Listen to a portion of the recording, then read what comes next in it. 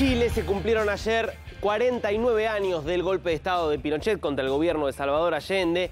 Iban a hacer actos de conmemoración en general pacíficos, pero nuevamente volvieron a registrarse episodios de violencia. A tres años ya de aquel estallido de 2019, hubo episodios primero en, en las inmediaciones de la moneda, la casa de gobierno. Ahí empezaron algunas cruces, algunos grupos violentos que son chicos, pero que tienen bastante fuerza. Prendieron fuego a algunos autos, saquearon negocios, por lo menos ocho comercios terminaron saqueados. Después se metieron en un cementerio, también hubo eh, saqueos en el cementerio, enfrentamientos con la policía. Fíjate ahí cómo, cómo se ven las llamas, bombas Molotov.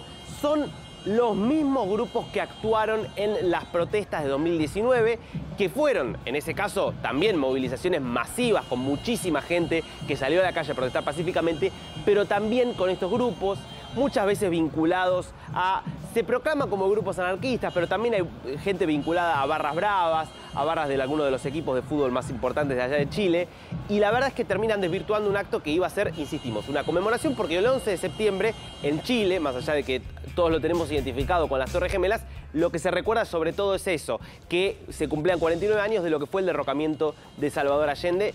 Boric, el presidente Gabriel Boric, emitió un comunicado bastante condenatorio, por supuesto, de estos hechos, diciendo que la democracia se constituye, por supuesto, a partir del diálogo, a partir del consenso, nunca a partir de la violencia.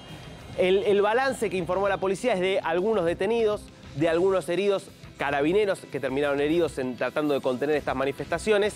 Insistimos, grupos minoritarios, encapuchados, vinculados al, anarquismo, vinculados a eh, el crimen, sobre todo urbano, que una y otra vez reaparecen en Chile, en este caso en el aniversario del golpe de Pinochet.